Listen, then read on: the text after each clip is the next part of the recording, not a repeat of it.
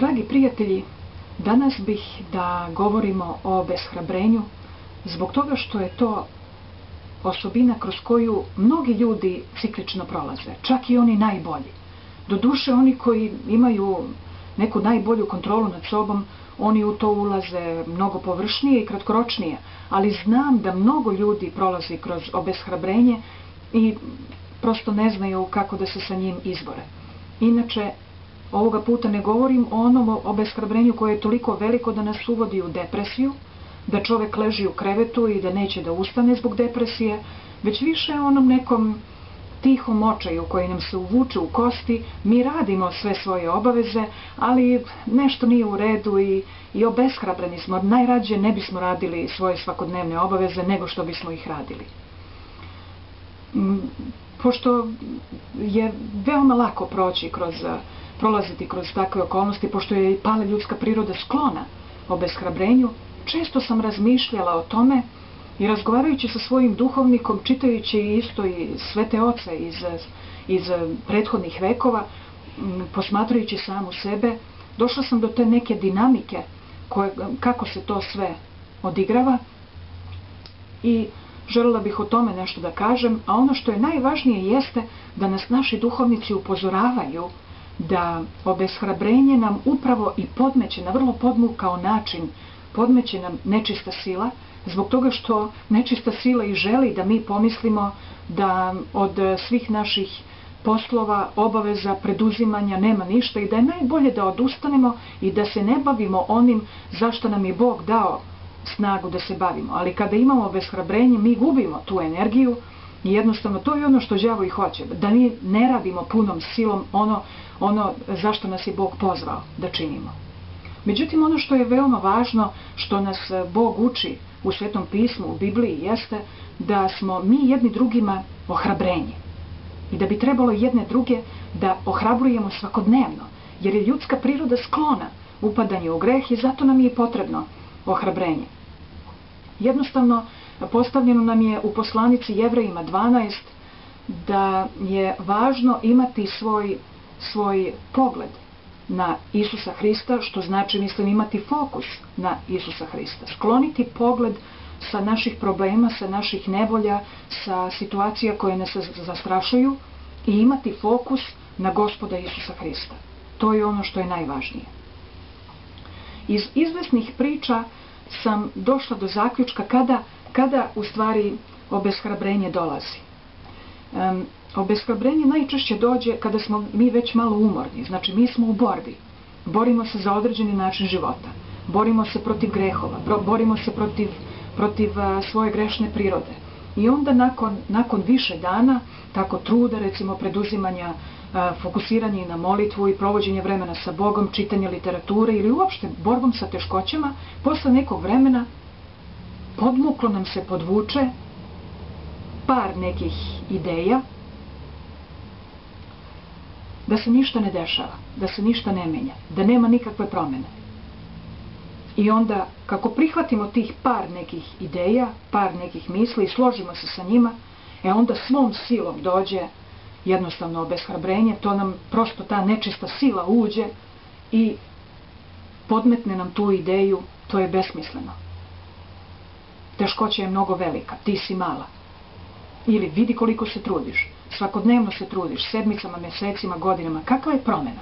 Nema promene. Najbolje je odustani. Jer to je ono na što nas obeshrabrenje u, u krajnjoj situaciji tera. Da odustanemo. E sad, Bog nas upozorava kroz biblijske priče da je odmor veoma važan. Ako se već dođe u takvu situaciju, najbolje je odmoriti se neko vreme, dan, dva, tri, raditi nekakve drugačije okolnosti, e, situacije, ne situacije, nego delatnosti, pa se onda vratiti na ovo prethodno. Zatim drugi razlog iz kog nam dođe obeshrabrenje je u tome, u fo, tom fokusu, gde je naša pažnja. Jednostavno sklonimo pažnju sa Boga, sklonimo pažnju sa Isusa Hrista i obraćamo veliku pažnju na okolnosti, koje neki put bivaju zastrašujuće, ili na naše teškoće, ili na neke naše mane i tako dalje. I poenta je znači biti fokusiran na Boga. E sad, neko će da kaže, pa ja sam i bila fokusirana na Boga, ali ništa mi se nije promenilo. Sve je ostalo isto. Nikakva pozitivna stvar mi se nije desila. A ja ću vas pitati, pa koliko dugo ste bili fokusirani? Jer evo šta piše u, u, u psalmu 123 stih 4. Piše, kao što su oči slugama uprte u ruku gospodara njihovih, kao oči sluškinje u ruku gospođe njezine, tako su oči naše u gospoda Boga našega dok se smiluje na nas. Šta to znači? Pa to znači da treba da budu, naš fokus treba da bude na njemu dok on ne dođe, dok nam ne reši taj problem. Neko će da kaže, pa što već ne reši? Pa zato što ti nisi Bog, nego i on Bog. A mi smo njegove sluge, mi smo njegova deca. Dakle, nevolja nam dođe kad on odredi, biva koliko on želi i završava se kad on želi. Ali zapamtite, mnoge nevolje nam dolaze zato što smo ih mi kreirali u našem životu. Mnoge nevolje nam do, dolaze i zbog toga što, što smo iz nerazumevanja se sami ubacili u njih. Znači, zapamtite i to, da mnoge nevolje uopšte nisu od Boga.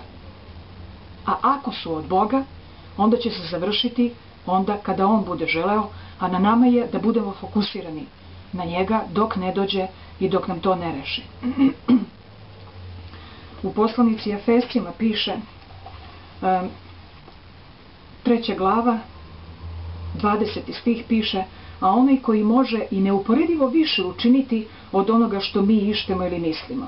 Dakle, Bog može da učini mnogo više nego što i mi tražimo. Mi gledamo naš problem i kažemo, vidi koliki je ovaj moj problem, a koliko su moje snage male. Pa ne bi trebalo tako da gledamo, nego da upoređujemo sa Bogom naš problem. Jer ako mi služimo Boga, onda Bog bije naše bitke. I onda bi trebalo da kažemo, vidi koliki je moj problem, ali koliki je moj Bog kome ja služim. Razumete? I to je važno. Mi e, svi pravimo vrlo često jedan isti problem, jednu istu grešku, a to je preuveličavamo probleme i teškoće, a umanjujemo Boga.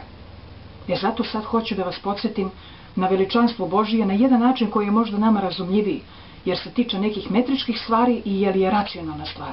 Hajde da pričamo koliko je veliki Bog, koliko je velika tvorevina, koliko je veliki taj kosmos koga je Bog stvorio. Tražila sam na internetu koliki je kosmos i našla sam da se veličina kosmosa meri svetlosnim godinama. E sad, svetlost putuje brzinom od 300.000 km u sekundi i kaže se da svetlost može u toj jednoj sekundi 7,5 puta da obiđe oko zemljene kugle. Zamislite, Znači 300.000 km, 7,5 puta oko zemljine kugle. I to je samo jedna sekunda. Kosmos se meri svetlosnim godinama. To je, to je rastojanje koje svetlost prođe za godinu dana. I koliko je to rastojanje? Pronašla sam da je to 9 triliona kilometara. Znači ne biliona, nego triliona.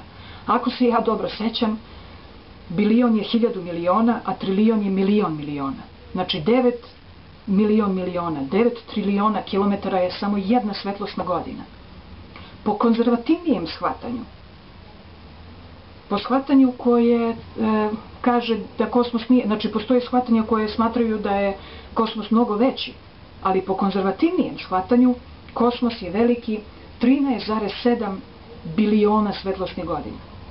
E sad vi pomnožite onih, onih 9 triliona kilometara sa 13,7 biliona, pa vidite kolika je to cifra. Mislim, ja ne mogu ni da zamislim taj broj. To je, to je ogromna stvar. Tolika je veličina kosmosa kog je, kog je Bog stvorio. U Svetom pismu piše, u knjizi proroka Isaije, 40. glava, drugi, 12. stih piše, piše, ko je izmerio vodu grstima svojim i nebesa premerio peđu. Grstima, ovo je grst. Znači, ko je premerio vodu grstima i izmerio nebesa peđu, pedalj. Pedalj je razdaljena od malog do prsta do palca. Znači, kaže se da u prenosnom smislu da Bog meri nebesa i meri kosmos pedljima. Eto, to je za njega sitnica. Kaže se da i ona najviša nebesa ne mogu da se drže Boga. Koliko je on veličanstven, koliko je on uzvišen, koliko je on neshvatljiv, neizmerljiv, nespoznajan ljudskom umu. E sad razmislite o svom problemu i o svojim nevoljama i o svojim okolnostima u odnosu na Boga. Uporedite sa Bogom, koji je stvorio takav kosmos. Mi ne možemo ni da shvatimo kakav je Bog, ne možemo da shvatimo ni taj kosmos. A kamoli tvorca koji je uspeo tako nešto strahovito da, da, da stvori. Eto. Sada uporedite svoj problem. Zato je neophodno da naše unutrašnje probleme, koje mi često pretvaramo u džinove, zato je neophodno da ih često upoređujemo sa Božijim veličanstvom. Da bismo se spustili malo na zemlju i da bismo imali više poverenja u Boga. Jer Bog želi da pomogne.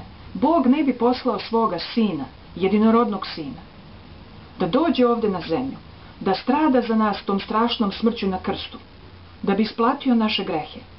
Dakle, Bog ne bi učinio sve to, Bog Otac, da On želi da nam da groznu svakodnevicu ovde i da ne želi da nam da i mnogo više nakon telesne smrti.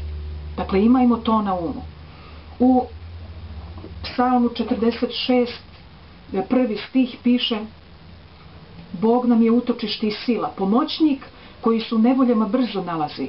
Zato se nećemo bojati da bi se zemlja pomestila i gore se prevalile u srce morima. Razumete? Ali kaže se u poslanici Jakovljevoj da mi ne dobijamo zato što ne tražimo. Mi ne tražimo od Boga. Pala ljudska priroda mnogo lakše komunicira sa nečistom silom, sa palim duhovima. I onda nama brzo dosadi Bog. Jer Bog od nas traži moralno usavršavanje, etičko usavršavanje, da bismo bili u harmoniji i da bi nas On vodio i traži od nas volju da mu služimo. Da bismo se poklopili sa njegovim planovima, da bi naš život bio kreativan, uspešan izuzetan. Nečista sila to ne traži. Mi lako dođemo u kontakt sa nečistom silom, sa koje kakvim medijumima, koji razgovaraju sa tim palim silama i daju nam koje kakve mudre savete. Oni ne traže moralno usavršavanje, oni samo daju savete kako, kako uspeti u životu. Ne morate moralno da se usavršavate i često vam daju, znate, ne pali ti duhovi, nečista sila, đavo. On je podmukao. On može da se pretvori u anđela svetlosti. On može da vam daje premudre savete, fantastične, izuzetne savete. I usput, one male laži, koje će da vas podmuklo, sklone sa puta spasenja.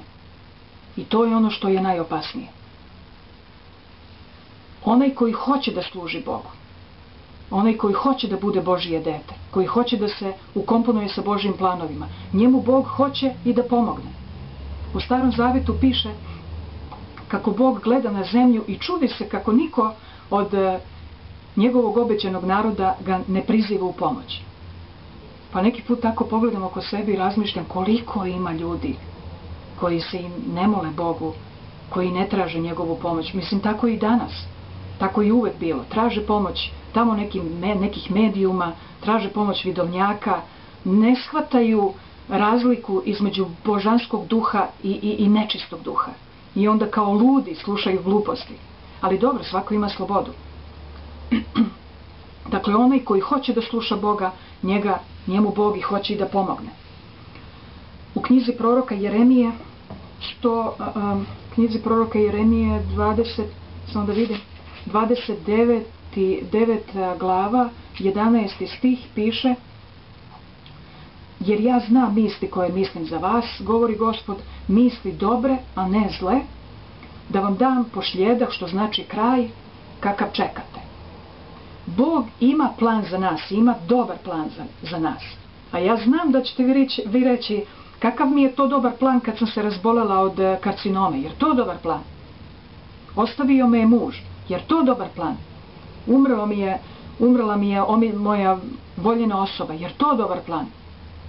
Pa sad ću da vam kažem, to je samo sekvenca u našem životu. Božji plan je u radu. Božji plan je veoma dugoročan. On nije samo za ovaj život, nego je i mnogo, mnogo dalje van ovog života, nakon kapija smrti. Dakle, Božji plan je u radu, u dešavanju. To vam je isto kao kada biste uzeli da spremate sarmu, uzeli to sveže meso, pomešali ga sa crnim lukom, sa začinima, sa pirinčem, stavili ga da se prži i odmah nakon pet minuta da probate. Pa vi ćete reći, hoš kako je grozna ova sarma. Pa naravno da je grozna, zato što nije gotova. E tako isto i u našim životima. Te sekvence su teške, naravno su teške, jer plan nije gotov. Plan je u dešavanju, u pokretu. Treba da se sačeka, da se otkuva, da otkrčka, da sve dođe na svoje mesto.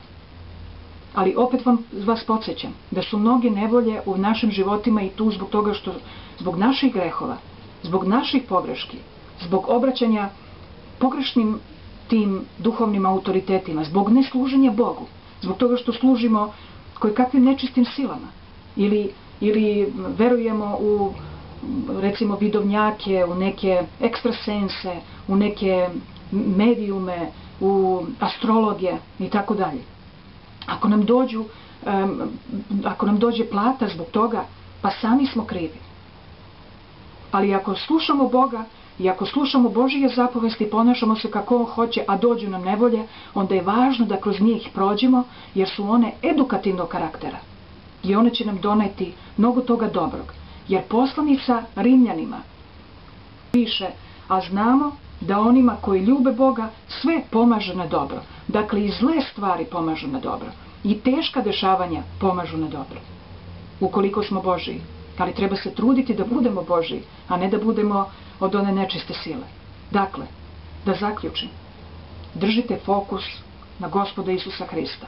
Kako ne verovati Bogu koji je stradao za nas, koji je došao, poživeo ovde, srodio se sa nama, shvatio našu muku svakodnevnu, stradao za nas teškom smrću na krstu, kako ne verovati takvom Bogu? Držimo fokus na njemu, na, njegovom, na njegovoj sve mogućnosti, na njegovoj veličanstvenosti, a ne na problemima, na nevoljama, na teškoćama, na zastrašujućim okolnostima. Kad držimo ispravan fokus, Bog će voditi naše bitke. Eto toliko od mene i želim svako dobro.